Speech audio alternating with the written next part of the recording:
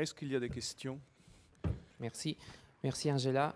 évidemment, c'était bien intéressant et merci pour nous avoir, nous avez euh, tu nous as donné euh, vraiment les cadres euh, théoriques et épistémologiques de ce temps cyclique et itératif du trauma. Et moi, je demandais tout simplement, quand tu parcours le, le, le, les directions surtout dans le premier atlas que tu as montré, où il y a beaucoup d'images de, confort domestique que tu as montré. Il me semble que quand même tu imposes une, direction, dans le sens que tu, pars, euh, les, disons, les images de violence et les images du passé euh, entre les images du futur et les images du confort domestique. Il me semble que tu as donné un peu ces parcours-là. Je ne sais pas si, si c'est vrai ou pas, mais il, m'est semblé que de toute façon, tout partait d'un point, disons, d'une intentionnalité dans les parcours, qui c'était les images de violence frappent plus que les images innocentes, disons, et qui sont les images de violence qui hantent les images innocentes des conforts domestiques, euh, voilà. Donc c'est la direction moins perverse, disons. Mais si on propose aussi l'autre direction, plus euh, perverse, disons que sont les images des conforts domestiques qui hantent celles des violences. Et donc, euh, tout simplement, euh, je, suis en train de simplifier, mais on revient sur la banalité du mal, dans le sens de dire, voilà, non seulement la violence est dans les images innocentes, mais l'innocence est dans les images violentes. je ne sais pas si euh, je suis en train de me faire comprendre, mais de toute façon, il me semble que toi nous as donné un, parcours, euh, tandis que, euh, comme tu l'as dit aussi, les atlas s'ouvrent à plusieurs parcours, à plusieurs tensions entre pôles, et non pas d'une superposition d'un pôle sur l'autre. Merci. merci.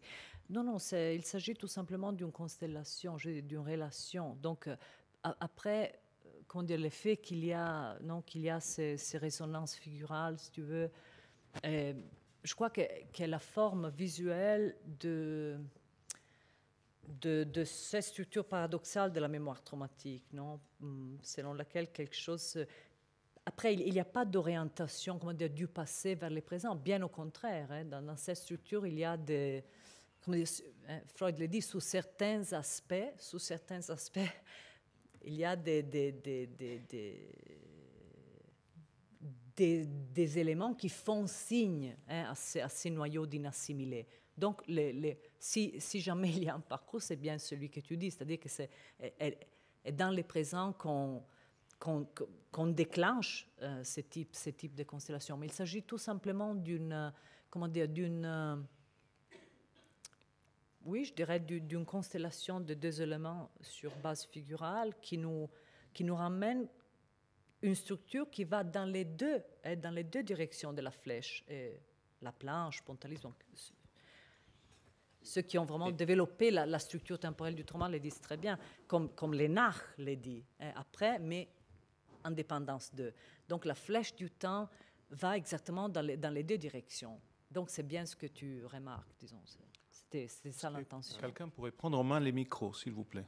Euh, merci beaucoup, Angela, pour euh, cette intervention euh, très inspirante et je suis tout à fait convaincu de ta thèse en regardant le moment historique euh, dans les euh, planches de l'Atlas qui semble naïf ou ingénu ou, euh, banal d'une certaine façon. Et j'aimerais savoir ce que tu... et, peut-être une autre remarque, aussi dans les écrits de Benjamin, il y a toujours une ambivalence hein, dans la notion de l'histoire naturelle. Il y a toujours quelque chose d'un moment d'espoir euh, dans la notion de l'histoire naturelle. Alors, mais c'est Euh, bien connu. Euh, mais ma question regarde le, statut de la photographie dans ton interprétation. La photographie en tant que... Est-ce qu'il y a une théorie de la photographie implicite dans l'Atlas. Alors, est-ce que la photographie est conçue en tant que médium de la naturalisation ou euh, euh, je ne demande pas ce que ta propre théorie de la photographie, mais est-ce qu'il y a une théorie implicite dans de la photographie, euh, théorie implicite de la photographie dans l'Atlas, selon toi? Merci beaucoup. C'est une magnifique question à laquelle, comment dire, j'ai une réponse en direct au sens que je sais quelle est la théorie qui n'est pas implicite, et c'est celle que Buchloh y reconnaît, c'est-à-dire la théorie critique de, de, de, du petit essai sur la photographie de Vincent et Krakauer, non, qui, donc cette, cette euh, disons cette, cette euh, euh, les versants sceptiques hein, de la théorie du photo, de la photographie des années 20. Je crois que c'est vraiment pas le cas. Alors quelle, quelle serait la comment dire l'alternative il faudrait vraiment l'élaborer. Je crois qu'il faut, il, faut aussi que je développe une attention à ces médiums parce que c'est un atlas de photos, pas seulement des photos. Hein. Par exemple, le 11 septembre, c'est des photocopies renversées, des réimprimées, euh, ce qui implique toute une. Donc il y a aussi un discours médial général.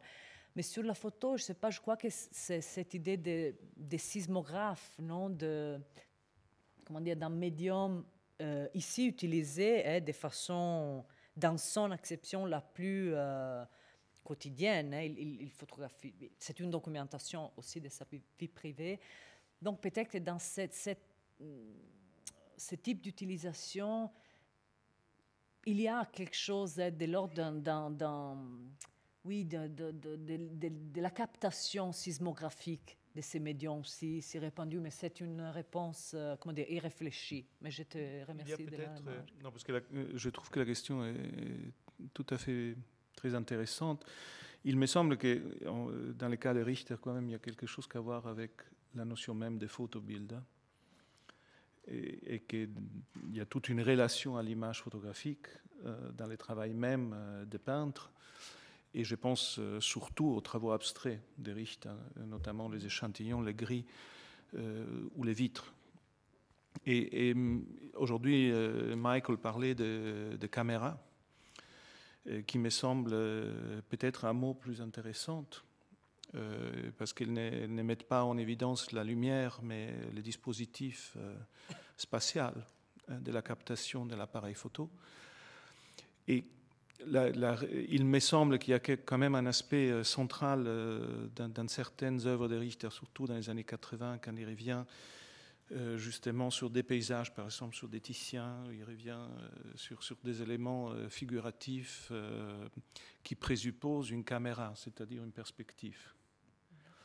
Il serait peut-être intéressant de réfléchir à l'usage des photos de Richter à partir de cette notion de caméra, c'est le dispositif du regard, comme les vitres transparentes par exemple, ou les premières fenêtres qui pouvaient bouger, comme des dispositifs qui définissent des espaces et donc des points de vue parce que aussi dans les, tableaux de photos historiques, il y a quand même, par exemple, les points de vue du photographe du journal. Mais là, je crois que c'est assez, au moins pour moi, il me semble que dans les cas de photopainting, etc., il y a toujours la, la coopération de deux formes médiales, pas deux médiums, parce qu'il n'y a pas de photos dans les photos. Il y a des, des formes d'énonciation, par exemple, propres aux photographiques, dans ce qu'on appelle, disons, au moins dans certaines traditions, des formes médiales, et qu'entre ces formes, hein, c'est fait ce qu'on pourrait définir une prestation référentielle de l'image. C'est-à-dire l'image capte quelque chose du, de l'ordre du réel ou d'une du, du, mémoire qui n'est non qui n'est qui n'est pas qu'aucun médium en soi peut véhiculer ou assumer ou, ou, ou, prendre en charge. Mais la coopération intermédiale eh, je pense aussi aux, travaux de Pietro Montagna en Italie. Il y a, il y a maintenant, disons... parce que par rapport à ce que tu dis sur l'Atlas... Ah, là, c'est autre chose. et, non, mais ce n'est pas seulement autre chose. Parce que cette question intermédiaire devient intéressante par la, par la, la diffuse euh, récolte d'images qui ne sont pas que de lui, mais sont aussi de lui. Mm-hmm. euh, qui sont des journaux, qui sont des, des journaux, qui Bien sont sûr. des... Je veux dire que là aussi, Oui, il y a quelque chose qu'à voir avec la chose qu'étudie. Il me semble que là, ça devient intéressant, euh, ces liens deviennent intéressants. Est-ce qu'il y a d'autres questions?